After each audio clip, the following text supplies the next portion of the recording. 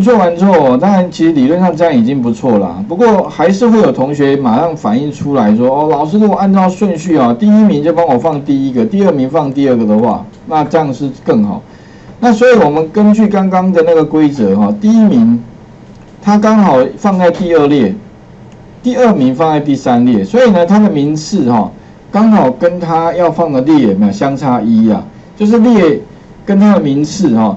哎，把它名字加一，就是它放的列我的位置。所以哦，我们刚刚的程式哦，只要改动一个地方，其实就 OK 了。哪个地方呢？就是呢，把这个 k 有没有哦？我们把 k k 不要拿掉了，k 把它不要等于二，因为不要放在二的位置。哎，不是从二开始放，也不用加一，只是说 k 应该要怎么放呢？k 的位置哈，其实有一个。很简单的一个规则，k 等于什么呢？它的这个名次怎么样呢？它的名次怎么样？所以将来呢，如果找到这个第七名，对不对？哈，那 k 的话应该放在第几列？我刚刚讲过嘛，它的名次哈，跟它放的列相差一嘛，所以你只要把它的名次怎么样加一不就好了？所以哦，这个是他将来找到的名次哦，有没有？所以哦，就是这样，像第七对不对？他一直往下找，找到这里，他是七。那七的话呢，哈，如果我把这个七的数字拿来，把它加一之后放在 k 里面去，那 k 等于多少？可以八嘛。所以八的话，那不就放在 f 八的位置？那以此类推哦，所以底下一直往下找，哎，不要往下找找找，找到第几名？再再来的话，应该第二名对不对？哈，第二名一样的道理。如果我找到第二名的位置，这个是二了哈，二有没有小于七？有嘛哈，所以把七这个二加上一丢到 k 里面去，那不就三？那刚好就放第哎，所以其实这样就是答案的啦。啊，其实也没有那么复杂哦。所以我跟各位讲一下，我把它复倒倒车一下。我的想法是这样，本来是这样的哈。那我第一个哦，我是直接把这个头跟这个 k 等于二不要，因为它不需要初始值。它也不需要加一，所以这两行可以拿掉。那在 k 这个上面一行哦，加一个 k 等于什么？k 等于它原来的名次，就是这个名次的话是放在这个储存格里面。好，把这个名次怎么样？再把它加一就可以了。加一，哦，OK，好，那再把它丢到这个地方来。这样的话呢，理论上应该就成功了啦。我试一下，理论上应该是最简单的写法哦。那再来的话，我们来试试看有没有成功哈。我们看一下这个清除一下，然后让它跑跑的话，如果没把握的话哈，一般就是这边设个中断点，让它停一下啊，执行一下。哎，有没有跑？哎，这个地方是七，对，小于七嘛，等于七包含的。这个时候的话呢，那就是七，就是第七名。那应该放哪里呢？那应该加了一之后变第八列的位置。所以这个时候 k 等于八，那八就跟 f 结合在一起，就放在 f 八的位置。